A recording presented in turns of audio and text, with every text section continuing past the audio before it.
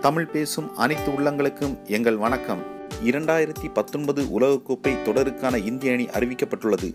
பெரும் எதிர்பார்ப்புக்கு மத்தியில் சுமார் இரண்டு மணி நேர ஆலோசனைக்கு பிறகு இங்கிலாந்து செல்லும் பதினைந்து பேர் கொண்ட அணி அறிவிக்கப்பட்ட அணியில் தமிழக வீரர்கள் தினேஷ் கார்த்திக் விஜய் சங்கர் இருவர் இடம்பெற்றுள்ளனர். கடந்த சில மாதங்களாக நம்பர் நான்கு பொசிஷனில் விளையாடி வந்த அம்பதி ராயுடு உலகக்கோப்பை அணியில் இடம்பெறவில்லை. அதேபோல ரிஷப் பந்தும் இடம்பெறவில்லை என்பது குறிப்பிடத்தக்கது. கடந்த சில மாதங்களாக உலகக்கோப்பையில் ஆடும் இந்திய அணியில் யார் விளையாடுவார்கள் என்ற எதிர்பார்ப்பு அதிகமாக இருந்தது. நம்பர் நான்கு பொசிஷன் கடைசி வரை உறுதி செய்யப்படாமல் இருக்க backup wicket keeper backup all rounder யார் நான்காவது வேகப்பந்து வீச்சாளர் யார்? அணியில் எத்தனை ஸ்பின்னர்கள் என எக்கச்சக்க கேள்விகள் எழுந்த நிலையில் இன்று அதற்கு பதில் சொல்லியிருக்கிறது இந்திய கிரிக்கெட் தேர்வுக்குழு. கோலி ரோஹித் தவான் தோனி யாதவ் பாண்டியா குல்தீப் சாகல் புவனேஷ்குமார் பும்ரா சமி இந்த பதினோரு பேரும் விளையாடுவது உறுதி செய்யப்பட்ட நிலையில் மற்ற நான்கு இடங்களுக்குத்தான் பெரும் போட்டி இருந்தது. அதில் அனைவரும் அதிகம் எதிர்பார்த்தது நம்பர் நான்கு பொசிஷன். இரண்டாயிரத்தி பதினேழு சாம்பியன்ஸ் டிராஃபி தொடருக்கு பின் ராய்டு ரஹனே மனிஷ் பாண்டே ஸ்ரேயஸ் ஐயர் கே எல் ராகுல் ரிஷப் பந்த் என பலரையும் சோதித்து பார்த்தது இந்திய அணி நிர்வாகம். கேப்டன் கோலி தோனி கூட சில போட்டிகளில் அந்த இடங்களில் விளையாடினார்கள். ஆனால் யாருடைய செயல்பாடுமே திருப்திகரமாக இல்லை. இந்த நிலையில் கடந்த சில மாதங்களாக அம்பதி ராயுடு அந்த பொசிஷனில் அதிக வாய்ப்பு பெற்றார். பதினான்கு போட்டிகளில் சுமார் நாற்பத்தி இரண்டு சராசரி வைத்திருந்தார். அவர் கட்டாயம் அணியில் ஆடுவார் என எதிர்பார்த்த நிலையில் இன்று பெரிய திருப்பம் ஏற்பட்டுள்ளது. ஆஸ்திரேலிய அணிக்கு எதிரான ஒரு நாள் தொடரில் சொதப்பியது. ஐபிஎல் தொடரில் நிலையான ஆட்டத்தை வெளிப்படுத்த தவறியது அவருக்கு பாதகமாக அமைந்துவிட்டது. இப்போது நண்பர் நான்கு இடத்தில் விஜய் சங்கரை தேர்வு செய்துள்ளது இந்திய அணி நிர்வாகம். ராகுல் தினேஷ் கார்த்திக் ஆகியோர் அணியில் இருந்தாலும் சங்கர் தான் நான்காவது இடத்தில் களமிறங்குவார் என தெரிகிறது. பத்திரிகையாளர்களிடையே பேசிய தேர்வுக்குழு தலைவர் M S K Prasad Vijay Shankar அணிக்கு பல ஆப்ஷன்கள் கொடுக்கிறார். அவரது பந்து வீச்சு அணியின் பவுலிங் ஆப்ஷனை அதிகப்படுத்துகிறது. அது மட்டுமல்லாமல் அவர் நல்ல ஃபீல்டரும் கூட என்று கூறினார். மேலும் ராகுல் பேக்கப் ஓபனர் என்றும் தினேஷ் கார்த்திக் பேக்கப் கீப்பர் என்றும் அவர்களின் ரோலை அவர் குறிப்பிட்டு சொன்னதிலிருந்து விஜய் சங்கர் தான் நான்காவது வீரராக விளையாடுவார் என்று தோன்றுகிறது. நியூசிலாந்து மற்றும் ஆஸ்திரேலியா அணிகளுக்கு எதிரான தொடர்களில் பொறுப்பாக விளையாடிய விஜய் சங்கர் தன் முதல் உலகக்கோப்பையில் விளையாட உள்ளார் என்பது குறிப்பிடத்தக்கது. இன்னொரு வகையில் பார்த்தாலும் ராயுடுவை விட ஷங்கர் நல்ல தேர்வுதான். ராயுடு பெரும்பாலும் நெருக்கடி இல்லாத ஆட்டங்களிலேயே சிறப்பாக ஆடியிருக்கிறார். பெரிய ஸ்கோர்களை சேஸ் செய்யும் போது டாப் ஆர்டர் பேட்ஸ்மேன்கள் இல்லாவிடில் ஒரு நல்ல பார்ட்னர்ஷிப் அமைக்க ராயுடு திணறவே செய்து வருகிறார். ஆனால் விஜய் சங்கர் இதுவரை ஆடியுள்ள ஐந்து ஒரு நாள் இன்னிங்ஸிலுமே பொறுப்பாக விளையாடியிருக்கிறார் என்பது குறிப்பிடத்தக்கது. அதே சமயம் ஆட்டம் போக போக கியர்களை மாற்றி ரன் ரேட்டை கூட்டுவதிலும் ராயுடு விட அவரே நல்ல சாய்ஸ் இன்னொரு குறிப்பிட்ட விஷயம் தேர்வுக்குழு தலைவர் சொன்னதைப் போல் விஜய் சங்கர் நல்ல ஃபீல்டரும் கூட. ஆனால் ராயுடு கடைசி வரை இந்திய அணியோடு பயணித்த ராயுடுவுக்கு கிளைமேக்ஸ் எதிர்பார்த்தபடி இல்லை என்பதை உண்மை.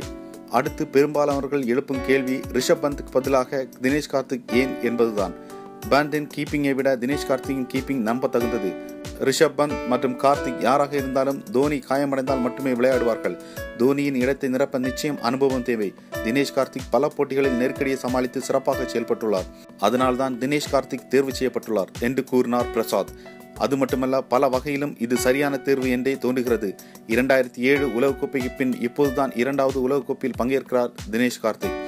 ரிஷப் பந்த் ஆடாதது ஒரு வகையில் அவருக்கே நல்லதுதான். ஏனெனில் ஆஸ்திரேலியாவுக்கு எதிரான முகாரி ஒரு நாள் போட்டியில் கடும் விமர்சனத்துக்கு ஆளானார் ரிஷப் பந்த். களத்திலேயே அவரை கடுமையாக சாடினார்கள் ரசிகர்கள். ஆனால் ஒரு விஷயத்தை அவர் புரிந்து கொள்ள வேண்டும். ரிஷப் பந்த் இன்னும் முழுமையான வீரர் இல்லை. பேட்டிங் கீப்பிங் அதை தாண்டி போட்டியை அணுகும் மனநிலை என எல்லா விஷயத்திலும் அவர் இன்னும் முழுமையாக வேண்டியிருக்கிறது. அதற்கு அவகாசம் தருவது முக்கியம். இப்போதே உலகக்கோப்பைக்கு தேர்வு செய்துவிட்டு அங்கு கொஞ்சம் சொதப்பினாலும் இன்னும் பல மடங்கு நாம் உக்ரம் கொள்வோம். அவரது வீட்டை தாக்கவும் தயங்க மாட்டோம். இரண்டாயிரத்தி ஏழு உலகக்கோப்பையின் போது தோனியின் வீட்டை இடித்தவர்கள் அல்லவா நாம்? ஒரு வகையில் இது ரிஷப் பந்த் வளர்ச்சிக்கு நல்ல விஷயமே. ஹர்திக் பாண்டியாவின் ஃபிட்னஸ் கொஞ்சம் பிரச்சனைக்குரியது என்பதால் கட்டாயம் அவருக்கு ஒரு பேக்கப் ஆல்ரவுண்டர் தேவை. விஜய் சங்கரை முழுமையாக பேட்ஸ்மேனாக மட்டுமே அணி நிர்வாகம் கருதியுள்ளது. விஜய் சங்கரை நாங்கள் பேட்ஸ்மேனாக மட்டுமே பார்க்கிறோம். அவர் பவுலிங் செய்யக்கூடிய பேட்ஸ்மேன் என்று கூறினார் பிரசாத். அவர் ஆல்ரவுண்டராக கருதப்படாததால் அந்த இடத்தை ரவீந்திர ஜடேஜா பெற்றுவிட்டார். அதேபோல் இந்த ஐபிஎல் தொடரில் பட்டையை கிளப்பியதால் உலகக்கோப்பை அணியில் தன் இடத்தை உறுதி செய்துள்ளார் கே எல் ராகுல். மூன்று வேகப்பந்து வீச்சாளர்களை மட்டுமே தேர்வு செய்ததிலிருந்தே பிளேயிங் லெவனில் இரண்டு ஸ்பின்னர்கள் களமிறங்க போவது உறுதி செய்யப்பட்டுள்ளது. ஹர்திக் பாண்டியா விஜய் சங்கர் இருவருமே வேகப்பந்து வீச்சாளர்கள் என்பதால் நான்காவது பவுலருக்கான தேவை ஏற்படவில்லை. ஆனால் நான்கு வேகப்பந்து வீச்சாளர்கள் இந்திய அணியோடு பேக்கப் வீரர்களாக இங்கிலாந்துக்கு பயணப்படுவார்கள் என்று அறிவிக்கப்பட்டுள்ளது.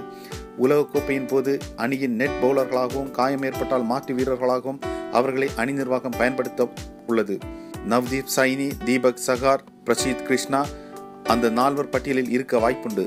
நவ்தீப் சைனியின் பெயர் உலகக்கோப்பைக்கான அணியில் கூட ஆலோசிக்கப்பட்டதாக எம் எஸ் கே பிரசாத் கூறினார். எந்த வகையில் பார்த்தாலும் இன்று அறிவிக்கப்பட்டுள்ள இந்திய அணிதான் சரியான அணி. சிறந்த பதினைந்து வீரர்கள் தேர்வு செய்யப்பட்டுள்ளனர். ஆனால் இந்த அணியிலும் பிரச்சனைகள் இல்லாமல் இல்லை. ஒரு வீரர் ஆட முடியாமல் போனால் அவருக்கு நேரடி மாற்று என்றில்லாமல் கூடுதல் மாற்றங்களை செய்ய வேண்டியிருக்கும். ரோஹித் தவான் கோலி விஜய் சங்கர் தோனி ஜாதவ் ஹர்திக் ஷமி குல்தீப் சாகல் பும்ரா. இதுதான் இந்திய அணியின் பிளெயின் லெவனாக இருக்கும். ஒருவேளை ஹர்திக் பாண்டியாவுக்கு ஓய்வளிக்க வேண்டும் என்றால் ஜடேஜா ஆட வேண்டியிருக்கும். ஆனால் மூன்று ஸ்பின்னர்களை களமிறக்க முடியாதது என்பதால் குல்தீப் சாகல் ஆகியோரில் ஒருவருக்கு பதில் புவனேஷ்குமார் களமிறக்க வேண்டியிருக்கும். அதேபோல் ஜாதவ் காயமடைந்தாலும் ஜடேஜாவை இறக்க வேண்டிய சூழல் வரலாம். ஏனெனில் இந்தியாவின் பவுலிங் ஆப்ஷன்கள் குறைந்துவிடும். ஹர்திக் பத்து ஓவர்களையும் வீசுவாரா என்பது சந்தேகம்.